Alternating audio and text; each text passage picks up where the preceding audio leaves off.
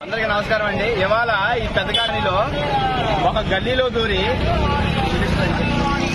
ఒక గల్లీలో దూరి ఇక్కడ స్థానిక ఎమ్మెల్యే కిలారు వెంకటరాజయ్య గారు చంద్రబాబు నాయుడు గారి దిష్టి బొమ్మ దానం చేయడం జరిగింది.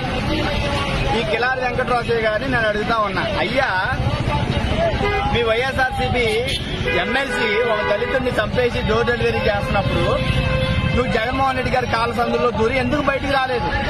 అప్పుడు ఎందుకని జగన్మోహన్ రెడ్డి గారి దిష్టి బొమ్మని నువ్వు దళిత సోదరులతో కలిసి ఎందుకు దహనం చేయలేదు?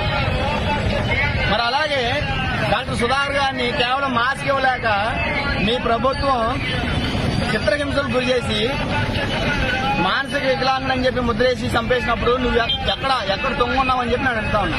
అలాగే ఈ రాష్ట్రంలో వైఎస్ఆర్సీపీ ప్రభుత్వం వచ్చినప్పటి నుంచి అనేక రకాలుగా రాష్ట్రంలో దళితుల మీద దమనకాండ చేస్తా ఉంటే నువ్వెందుకు ప్రశ్నించలేదు ఆ రోజు? నువ్వెందుకు వైఎస్ జగన్మోహన్ రెడ్డి దిష్టి బొమ్మ దానం చేయలేదు? ఈ రోజు వచ్చి ఎవరు లేని టైంలో వచ్చి చీకటి పడిపోయిన తర్వాత వచ్చి అది మొగొడతానమా? అదా మొగతాను నీ మొగతాను అదా? కిలారి వెంకటరాసే అని అడుగుతా ఉన్నా ఈ రోజు నేను.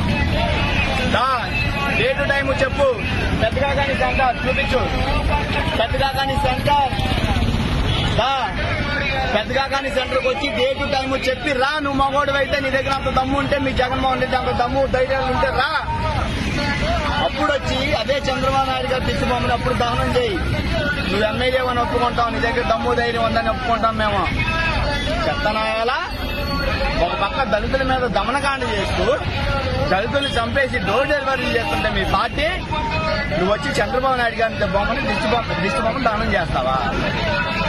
నువ్వు దానం చేయాల్సిన చంద్రబాబు నాయుడు గారిది కాదు వైఎస్ జగన్మోహన్ రెడ్డిది. ఒరే జగన్ నువ్వు దళితుల్ని చంపేస్తున్నావు దళితులకు అన్యాయం చేస్తున్నావు దళితులకు ఇచ్చిన ఇరవై ఎనిమిది సంక్షేమ పథకాలు రద్దు చేస్తున్నావు కాబట్టి నీ దిష్టి బొమ్మను దహనం చేస్తున్నా అని చెప్పేసి నువ్వురా దహనం చేయాల్సి జగన్మోహన్ రెడ్డి బొమ్మను దహనం చేయాల్సింది అని చెప్పి నేను ఈ సందర్భంగా తెలియజేసుకుంటూ ఉన్నా జై తెలుగుదేశం.